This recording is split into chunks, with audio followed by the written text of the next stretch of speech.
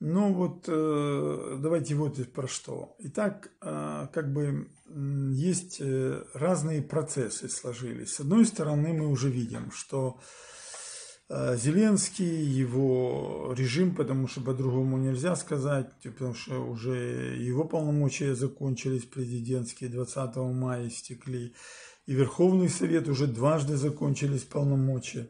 И когда они досрочно переизбрались, и по Конституции уже закончились, то есть надо выборы проводить. И Кабинет министров э, нарушает э, Конституцию, потому что у него он должен был быть создан на базе большинства в Верховном Совете. Этого большинства нет, и оно отсутствует. То есть в Украине полностью попраны все основы парламентаризма. То есть все а, вот эти вот э, вещи, про которые говорится, что там Стефанишина, что вот европейская интеграция, переговоры, кластеры, шмальстеры, это все болтовня. Реально совершенно простая.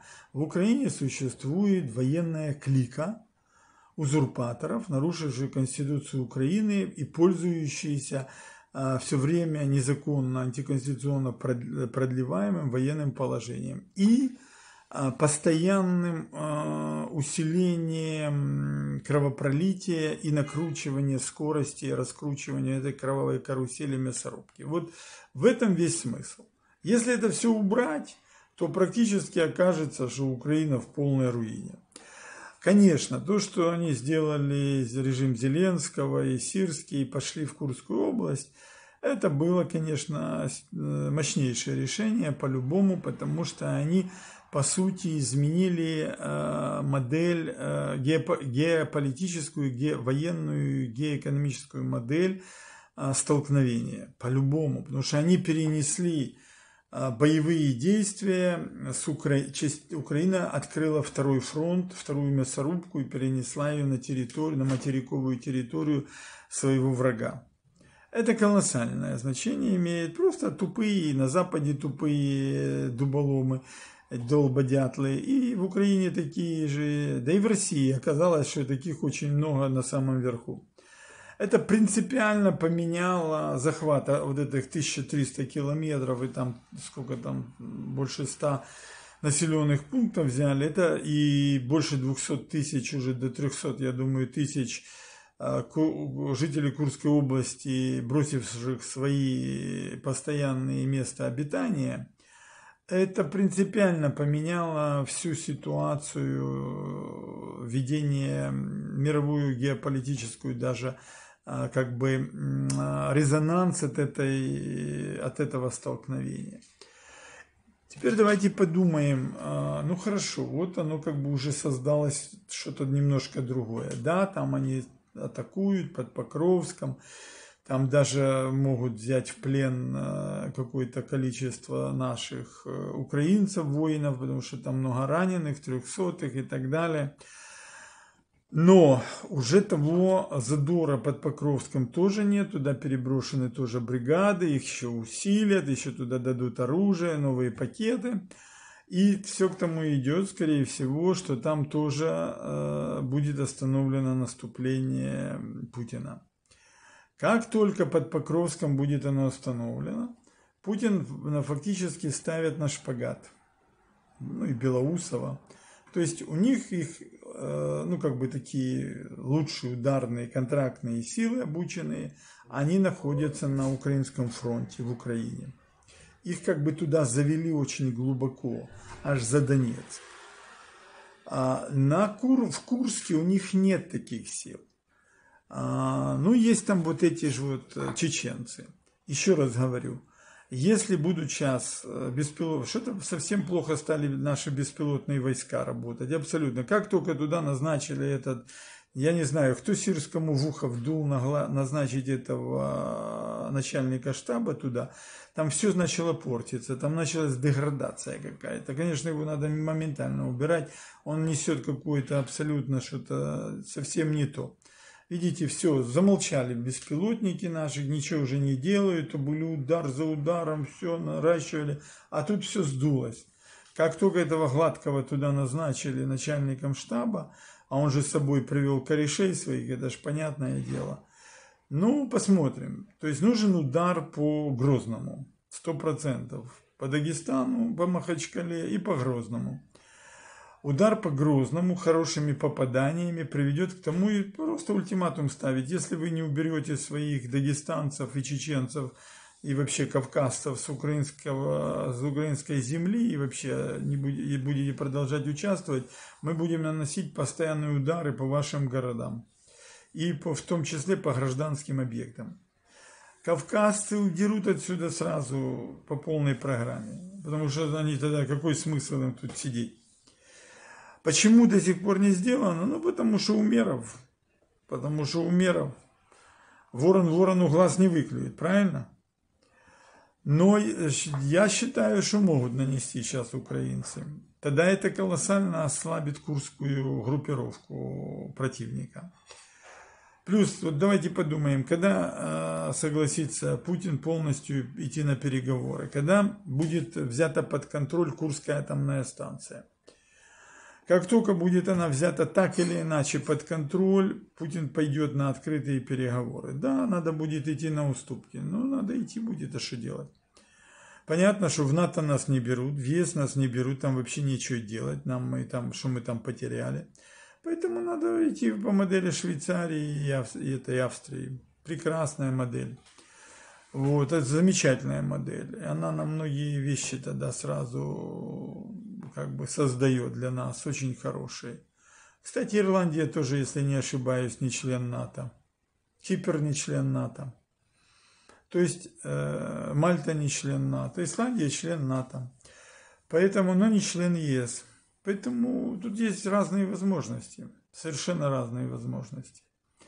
И, э, но э, понятное дело, что но этот, этот главный там этот Алатипов, или как там его этот чеченец, заявил, что Украина пробивается к Курской атомной станции постепенно, увеличивает поле э, своего действия. Сейчас придут новые бригады, парочку туда, и они пробьются к этому Льгову и тогда к этому Курчатову.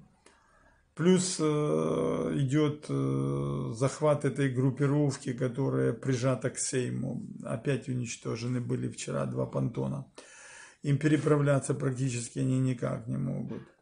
То есть мы имеем ситуацию, когда, э, по сути, в Курской области ничего Путин сделать не может. Если сейчас будет удар по Брянской области, хотя бы три бригады зайдут туда, ну, 15 мало тысяч, надо хотя бы где-то 20-25, то есть 5 бригад надо, чтобы зашло. Тогда, конечно, это будет серьезно, это уже очень будет серьезно. И будут, надо, конечно, наращивать удары по Белгороду. То есть Белгород должен э, фактически, його має спіткати доля Харкова тому що це повинно бути дзеркальне відображення ударів по Харкову. Повинні такі самі завдаватись удари по Белгороду. И это, конечно, серьезнейшим образом создает проблемы для Путина и его КГБистского синдиката. Ну вот я бы так вам охарактеризовал эту ситуацию. Хватит ли ума там у этих э, Зеленского и этих других камевояжеров, этого э, провинциального странствующего балагана Шапито, ну, ну, у них не хватит, так хватит тех, которые их э, советчиков, консультантов, которые ими управляют. Это, естественно, таласократы в Туманном Альбионе прежде всего. Кстати, сегодня 8 прилетает в Лондон такая ситуация сложная, Блинкин. А потом э, где-то на, на днях туда же это, в, в Вашингтон к Байдену поедет этот Стармер, э, премьер Великобритании, ну, Соединенного Королевства. Это очень важно, это очень важно. Кстати, республиканская партия посчитала, что этот Байден более 40, 40,6% рабочего времени своего как президент находился все время в отпуске. Это при том, что в США а, официальный отпуск максимум там 11-13 дней дают, представляете? А этот 40% времени находился. Ну зачем же им такой президент?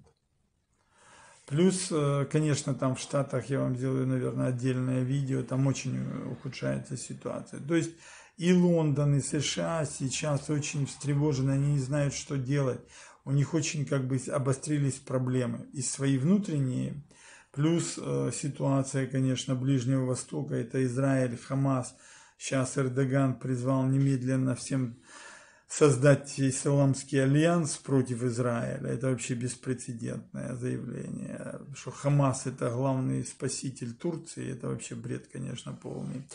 Поэтому, ну хотя с другой стороны понятно, потому что Эрдоган это принадлежит к братьям-мусульманам, и Хамас это тоже братья-мусульманы. И режим э, в Катаре, где фашистская матка сидит кублой, это тоже братья-мусульмане, чтобы вы понимали так как бы тут и Кувейт это братья-мусульмане, поэтому тут как бы все и так как бы принцип Полишинеля, и так все известно. То есть сейчас практически у Зеленского, как бы для того, чтобы сохранить свой хоть каким-то, чтобы не уменьшить, быстро уменьшается их жизненный горизонт. Чтобы он совсем не пропал, у них э, сирским надо немедленно расширить Курский плацдарм, а обязательно войти в Брянскую область и обязательно выйти на трассу Львова, чтобы быть возле Курчатова, чтобы можно было начинать Курчатов обстреливать. Если они это делают, то, конечно, они серьезнейшим образом меняют всю геополитическую, геовоенную ситуацию в войне, в мясорубке между Украиной и Россией. Смогут они сделать, не смогут, это другой вопрос. Но ситуация идет э, именно таким, таким способом. Ну вот так бы я вам охарактеризовал сегодня происходящие события и их, так сказать, а, как бы стратегический ракурс, как он может развиваться. Потому что у Путина да, он, ну что у него есть? На фронте, ну там уже, ну еще какое-то село кладбище возьмет, ну еще потеряет полторы тысячи бойцов своих контрактников. А где же их столько брать? А, ну и что там этот э, красноармеец Покров, что он, да ничего не дает, это абсолютно бесперспективно. А, ну, на других участках фронта он вообще ничего сделать не может. Ну, Волчанск, уничтожен Волчанск, ну, уничтожили, ну и что дальше? Получили что-то? Нет, не получили. В Курской области закрепилась э, чужая армия, да, закрепилась. Рано или поздно это надо будет признать, что проигран кусок территории, да, надо признать. Сейчас будет расширение плацдарма, да, будет. А двинуться на атомную станцию, я полагаю, двинуться, потому что Зеленскому терять нечего. Ну, все. То есть тогда что? Экономика, ничего не улучшается, цена на нефть падает. То есть где, где, где, где преимущество? Вокруг только если статическое управление брать, угрозы и вызовы, угрозы, вызовы и слабости. Угрозы, вызовы, слабости.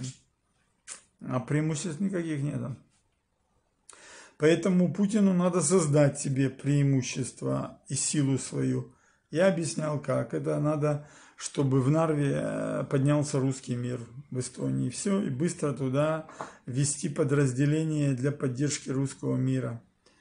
И тогда все.